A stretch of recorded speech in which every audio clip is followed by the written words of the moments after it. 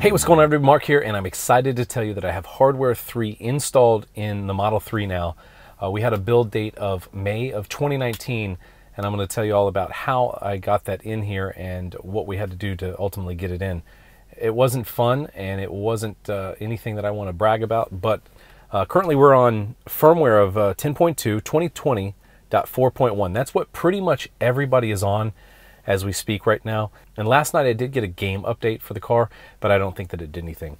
But what we're going to do today, we're going to go around and I'm going to test out the autopilot and all of the car's functions again on this uh, hardware 3.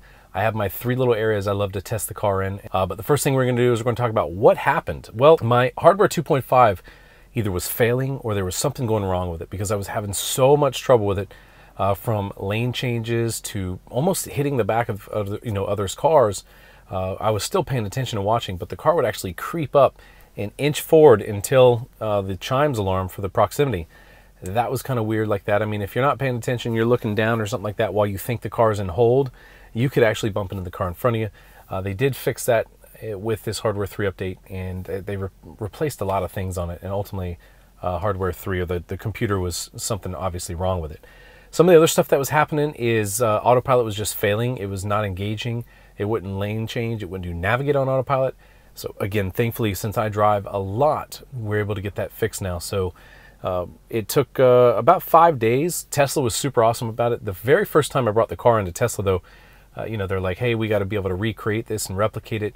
So what I had to do was constantly have one of these either GoPros recording or recording my cell phone anytime something happened, and also do time date stamps so I could tell them when something was going on because it was throwing up errors, but it wasn't giving any other indication or symptom that there was something wrong with it. And as you can see, the vehicle's creeping forward here.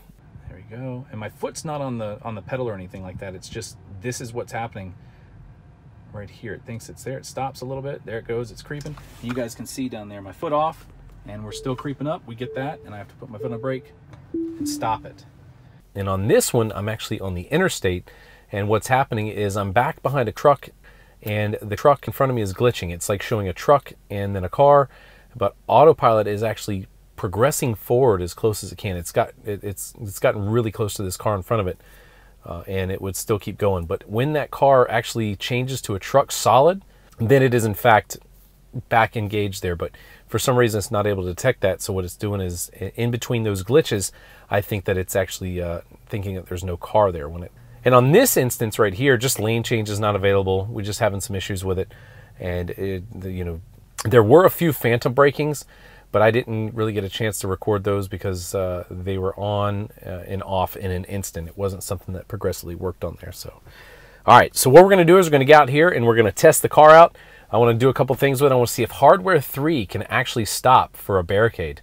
And then we're going to go over to um, our, our testing area where we go and make this sharp 90. I want to see how it handles in comparison to hardware 2.5. And lastly, we're going to head out to, uh, which is a road called Summertrees, and it's a real windy road. Pavement markings are really, you know, sparse. So let's get out there and try it. You guys ready? All right, let's go.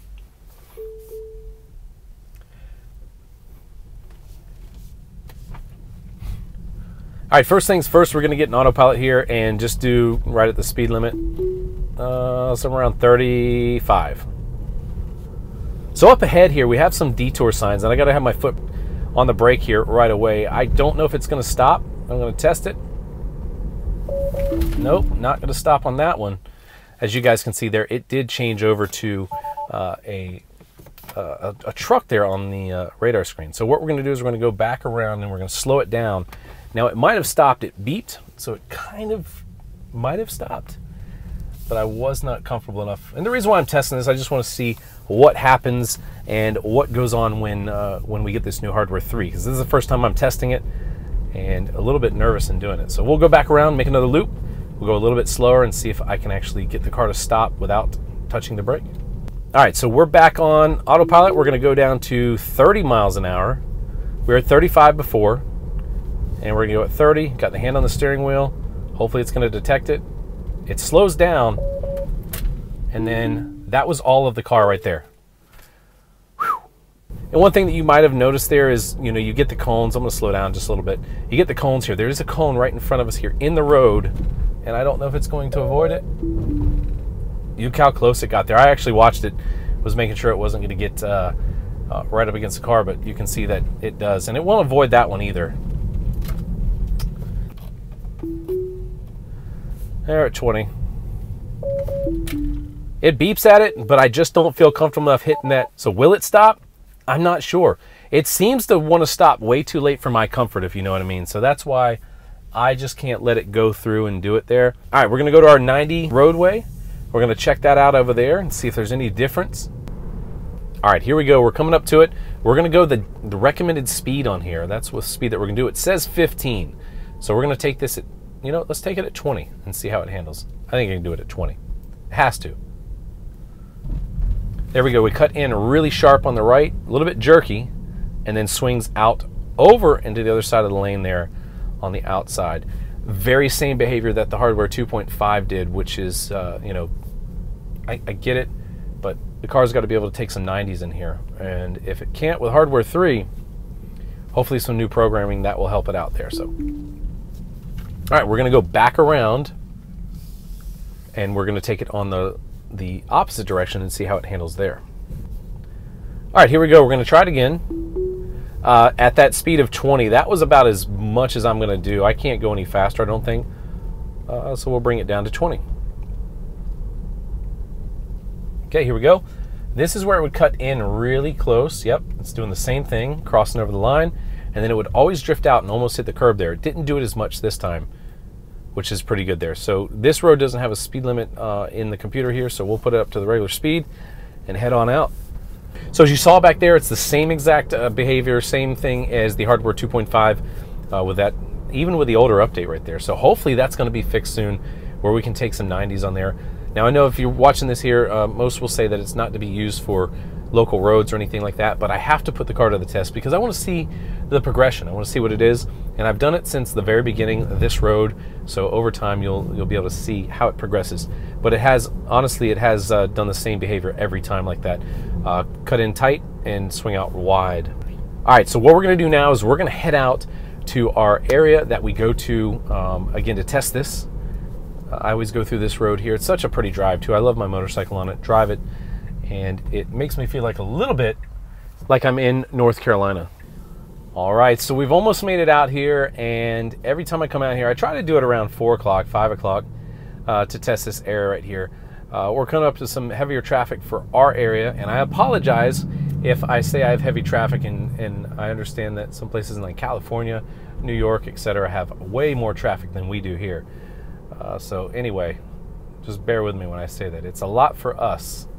So if you didn't know where I live, I live in Daytona Beach. Uh, it's just, I mean, it's not that small, but it is small enough. And that's so weird. It always does that there too. So even between hardware 2.5 and 3, uh, that little jog at that intersection always happens. I don't have any pre-recordings of it, but trust me when I say it does. So hopefully we'll get some new future updates and releases to have this car, you know, act more uh, like human behavior. I think it's it's coming soon. All right, so the speed limit is 25. We're going to start off at 20. Get on autopilot. Hopefully it'll it'll ID right here because there is an area where I have to hit it, and the lane is marked. Yeah, here it is, right here. Here we go. All right, we're on autopilot. It already gave me that warning to get on force, which indicates to me that it's having a hard time trying to locate where and what you know what it's looking at. So with this dappled light right here, you're going to see it probably cross over. Yep, crossover right there, cut over. Those lane markings are just so faint, even to my eyes, you can barely see them. So we got force on the steering wheel here. And this area right here is where it really gets kind of funky. It loses all the light there and the dappled light coming in. A little bit of a crossover right there.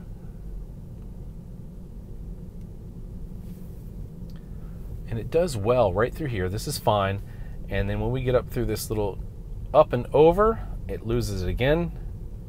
There we go, crossover just a little bit. You can see that on the screen. And this is where it doesn't know what to do. And you can see even people hit it here with the pine, you know, being chipped up like that. Big crossover there, going into the other lane. Take control immediately, so I lost it there.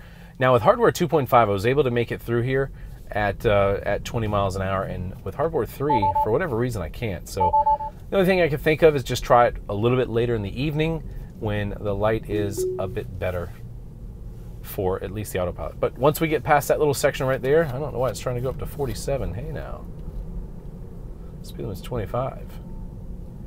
All right, a good crossover there again. Again, these lines are not painted properly. Uh, you know, they're really faint. Good correction right there. And there we go. All right, not too bad. Just that one section. So what we're going to do is we're going to flip around. We're going to go back through it. All right, we're back on. And while we're going through this, I wanted I just noticed that garbage can showed up on there, even though there's no garbage can around right away in the immediate vicinity.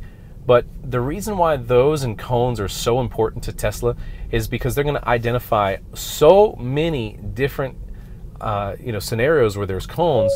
So, and we lost control right there as well. All right.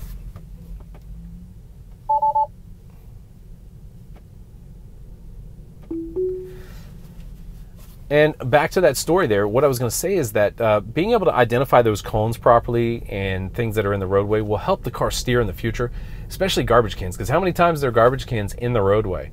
And you might think it's a novelty there and kind of funny when uh, when Tesla actually uh, gets uh, a car to look like a garbage can. Uh, but yeah, it works out pretty good to uh, for future stuff. Okay, here we go. It doesn't know where to go. Oh, I got to take over. We'll try to get back on it as soon as possible.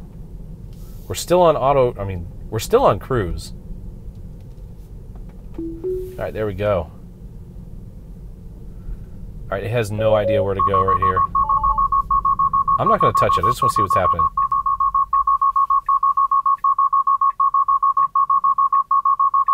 It's going to beep like that for a while.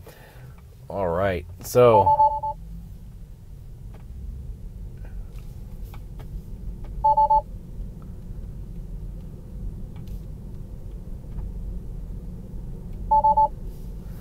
It won't even get it back there. Just can't, it can't find the lines. There we go. All right, we're back at 20 miles an hour. The, the fire hydrant was a cone. Uh, crossover right there. Well, that's at 25. I think I'm not going to go back through there anymore because I just don't want to have you know any issues. There's a lot of pines in through there, but you can see what happens on hardware three with uh, the autopilot, and I'll tell you what version we are in again, which is 2020.4.1, and that was the same, pretty much the same behavior as it was with the uh, hardware 2.5. Everyone, I want to say thank you for watching this video. Thanks for liking and subscribing. We got the car back in the other videos um, that you see that we're going to be coming up with. We got uh, some new accessories. I had to get rid of my floor mats and do all kinds of stuff to make some changes in here. So that's an abrupt one. But in the meantime, if you want to check out some of the other videos there or look at the links in the description, you guys can see everything we've been up to. And on that note, I'll see you again soon. Thanks for watching.